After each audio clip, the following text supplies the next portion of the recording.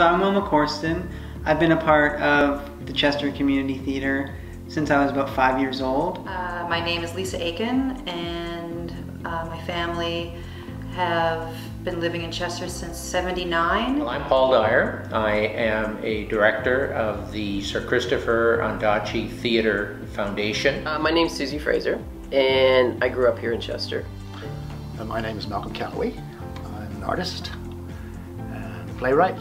I'm Joan Cleather, and I've always had a love for the theatre. My name is Ross Norman. My wife uh, Willa and I purchased a home in the area in 1998. My name is Nancy Wells. I've been singing since I was about 15. Uh, my name is Peter Smith. I'm the founding managing director of what was then the Chester Summer Festival. I'm Doug Ross, and uh, for years I taught high school at Chester Municipal High School and then later at Forest Heights. And with me is Aaron Gore. And Aaron taught at Chester Municipal High School and at Forest Heights. Hi, I'm Gail Fraser. Uh, I'm sitting in the Chester Theater, or Playhouse, and looking at all the renovations and realizing I've been around here for a long time. We were drawn to the Chester Playhouse. I love its unique uh, mix of uh, professional touring companies and local community talent. The only two movies I actually remember seeing are The Parent Trap, and I think that was in the 60s, and the uh, Herbie the Love Bug. So two Disney movies. In those days, on a rainy, stormy day when you couldn't use the yacht club or play golf or play tennis, one went to the Canary, to the movie theater and there was no seats, so it was just a bare slanted floor. And I remember it was super uncomfy, but the kids didn't care, and they brought out this beautiful puppet show, the Mikado, and I remember all the glitz and glam and the reds and the greens and the lights. And I don't remember the, the context, I don't remember the story, but I remember the I remember the puppets. We put a lot of people through there, especially in the Christmas shows. I mean, over the years, a hundred people some people think it's actually, you know, a variety show, and they sort of break into their own little bits in the middle of it, and that's when trouble starts. No. Nancy Marshall had uh, done a couple of plays at the Chester Playhouse, and so she said, why don't we do Godspell there?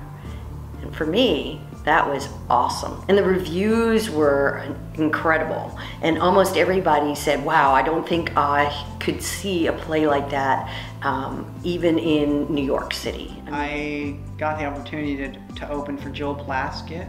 Um, Roma allowed me to do that with Ellie, which was really, really great. Our initial season, we rented what was then the Leading Wind Theater from Leo and Dora Veltman. We actually ran the first season with a for sale sign on the front of the building. When the 2008 global financial crisis hit.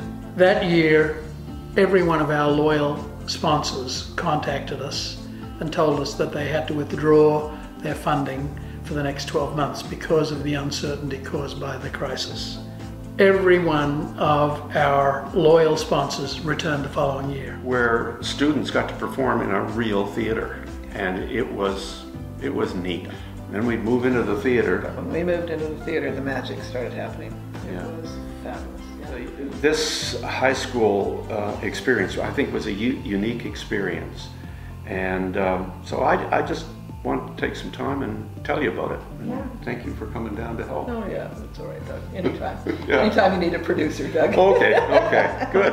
I'll definitely still keep pursuing guitar and singing. I'm planning on um, reaching out to the theater community in Wolfville when I'm up at Acadia, just because the theater community has all here has always kind of welcomed me with open arms. I'm really appreciative of the fact that uh, the Playhouse is continuing to offer such quality productions.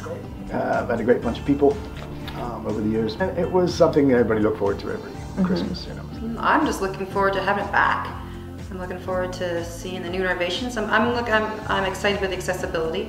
I mean, I think it's really, it's prevalent now the fondest wish for anybody who gets involved at the early stages of a project is that even after they've left it behind, they want to see it thrive and survive. And that's certainly what's happened with the Playhouse. I'm looking forward to the doors reopening and uh, the stage lit and the community and the village of Chester uh, once again can enjoy the venue. It's gonna, it's gonna be it's gonna be great, great. Um, hopefully, um, in our post-COVID world, um, we'll all be able to go back to the Playhouse and pile in there like we like we always did. Uh, but the best thing I think, really, is the community spirit and the way people here uh, support local businesses and particularly gems like the Chester Playhouse.